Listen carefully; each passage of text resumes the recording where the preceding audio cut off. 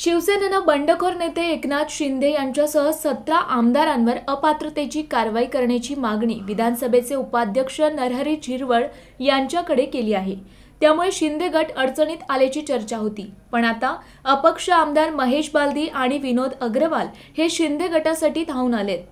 झिरवळ यांच्या विरोधात अविश्वास प्रस्ताव यापूर्वीच दाखल केला असल्याने त्यांना आमदारांना अपात्र करता येणार नाही असं पत्र दिलंय.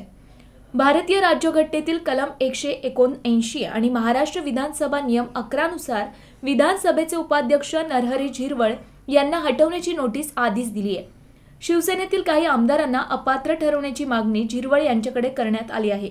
असं म्हणून बालदी व अग्रवाल यांनी सर्वोच्च न्यायालयाने अशा घटनांबाबत नोंदवलेले निरीक्षणे पत्रात नमूद केली आहेत विधानसभा अध्यक्षांवरच अविश्वास प्रस्ताव दाखल असताना ते इतर सदस्यांना अपात्र ठरवू शकत नाहीत असं बालदी व अग्रवाल यांनी स्पष्ट केलंय.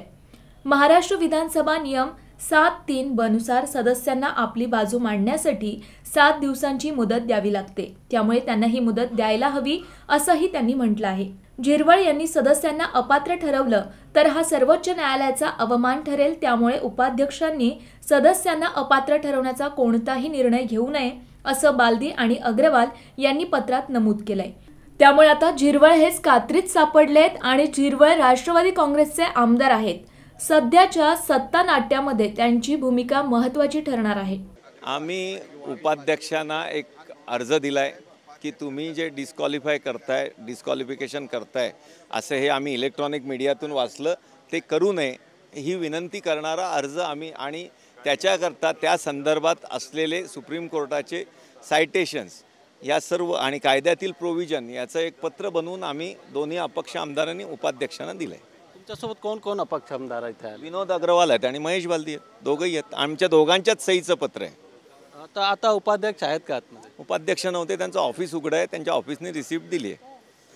अ, तुम्ही कोणाला समर्थन देणार आहेत? भाजपला या एकनाथ शिंदेला या महाविकास आघाडीला? परिस्थिती बघून का ठरवू ना. आता काय होतं त्याच्यानुसार ठरवू. जो महाराष्ट्राला पुढे नेईल महाराष्ट्र सुजलाम सुफलाम करण्याकरता पुढे नेईल त्यांना समर्थन देऊ.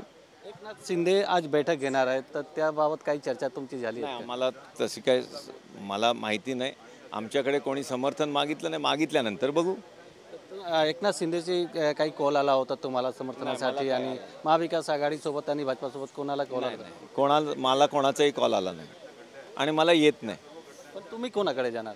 आता ते एकदा ठरवून तर द्या कोणाकडे जायचं ते इकडे जायचं का पलीकडे जायचं ते. आधी युद्ध चालू तर होऊन द्या मग कुठे जायचं ते ठरवू. एकनाथ शिंदेच्या अगर कॉल आला तुम्हाला तर तुम्ही देणार का त्यांना समर्थन हो शंभर टक्के एकनाथ शिंदे साहेबांना समर्थन.